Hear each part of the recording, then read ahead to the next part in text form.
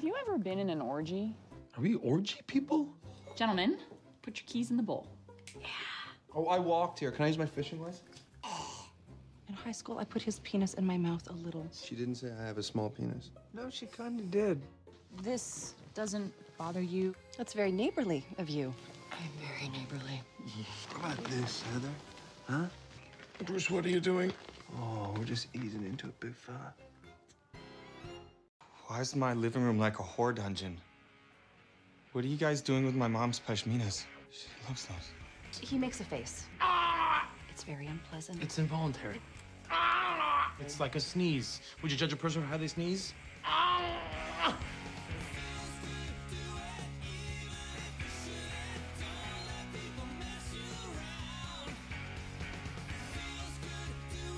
declare this orgy officially begun! Yeah!